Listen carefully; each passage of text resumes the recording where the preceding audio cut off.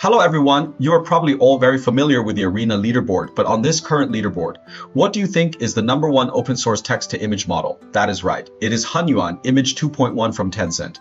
Now let's take a closer look at this leaderboard. Please note, when you first open the page, you might not find this model right away. It is ranked 14th by default. This might confuse a lot of people who would ask, didn't you say it was number one? Well, you have to remember it is the number one open source model.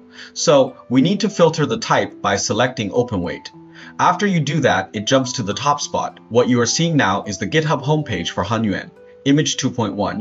The highlights of this model can be summarized into a few key points. First, it supports direct 2K image generation.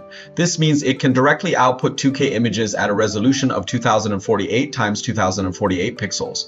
It also supports multi-style image generation. Furthermore, its capabilities in composition and text rendering are quite strong. We know that currently the best model for composition is Qwen Image. So how does Hunyuan Image 2.1 compare? We'll run a comprehensive test for you in just a moment. Another key feature is that it is a two-stage model, consisting of a base model and a refiner model, or optimization model.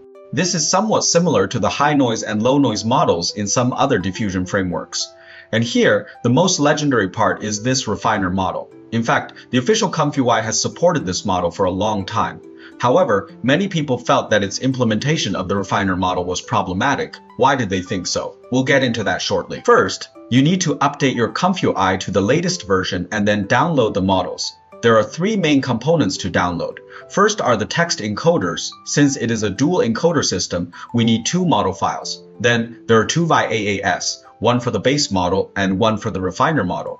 And finally, there are two main checkpoint models, the base model and the refiner model. You can find the download links on this page or download them from the ComfyUI Hugging Face repository.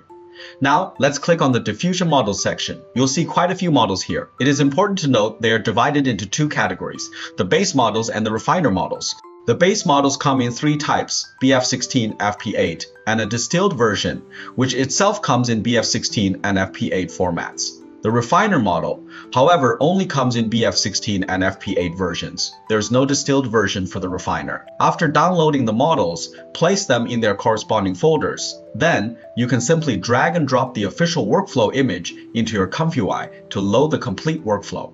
I've also set up this workflow on RunningHub, which you can access with runninghub.ai. RunningHub is an excellent platform for ComfyUI, as they are always the first to integrate new extensions and technologies. You can use the invitation link in my video description to register and receive 1000 free credits, plus an additional 100 credits for daily logins. Please note that I have restructured this workflow. The original workflow used a subgraph for the refinement stage, which can sometimes be inconvenient to work with. So I've broken it down. First is the model loading section. You can see I am currently loading the FP8 version of the Hunyuan 2.1 main model. We have our dual encoders, QWL and MT5, and the VAE for the base model. The prompt is for a female warrior. As mentioned, it generates 2K images directly, and I've noted the recommended resolutions here for different aspect ratios. For example, for a 16 to 9 image, the suggested resolution is 2560 times 1356. You can just follow these recommendations. For the sampling part, there is nothing too special. The official recommendation is 50 to 100 steps, but 20 steps can also work. For demonstration purposes, I am sticking with 50 steps. The CFG is set to 3.5, the sampler is Euler, and the scheduler is simple. After decoding, we get our first image. Notice how great this image looks. It might be hard to tell at this size, but if I zoom in, you can see the facial details are incredibly well defined, and the shadows on the face are very natural. Next, we move to the second stage, refinement. For the refinement process, you'll need to load the refiner models separately. Here, I am loading the FP8 refiner checkpoint and its dedicated refiner VAE. We then take the generated image and encode it using this refiner VAE. There is an additional node here that adds noise to the image and you can set the noise intensity. What is interesting is how the positive and negative conditions are handled. It seems they are automatically generated by the model presented in a format similar to a large language model chat. With system and user prompts, our request here is simply to make the image quality higher. Then it goes through sampling again, but notice the steps are much lower, only 4 steps. The other settings are mostly the same, but pay close attention. The denoise must be set to 1.0. Many people might think refinement is a partial sampling process, but in this case, it is a full 1.0 denoise. Now, let's look at the refined result. At first glance, it looks pretty good, but when you zoom in, you'll see that the facial details have been lost. This is exactly why many people question if the refiner model is implemented correctly.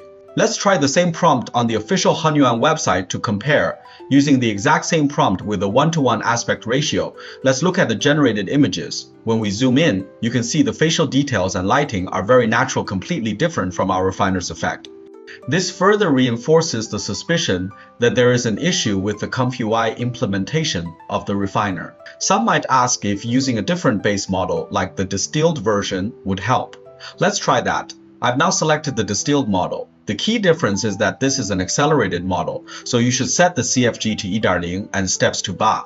The resulting image is noticeably washed out and has some vertical artifacts, similar to what we see with some other models. And after refinement, zooming in reveals the same problem. The more we refine, the more detail we seem to lose. To really highlight the difference, I used the C-Coder Vifi node to upscale the image, or rather just to refine it, since it is already 2048px. After this process, you can see the facial details are much better than what the native refiner produces. Of course, some people might prefer that smoothed, skinned and softened look, and if so, the standard workflow is fine for you. Now that we've looked at its image generation capabilities and potential issues, let's test its composition and text rendering abilities. To give you a direct comparison, I am going to use prompts directly from the Qwen Image Technical Report. This first example from the Qwen Image Report is of a classical hall. Here is the result from Hunyuan Image 2.1. Visually, the aesthetic doesn't feel quite as refined as Qwen images, especially with the text. The composition from Hunyuan might be a bit richer, but it feels like it is missing something. The second example is an arrangement of the 12 Chinese zodiac animals into three columns.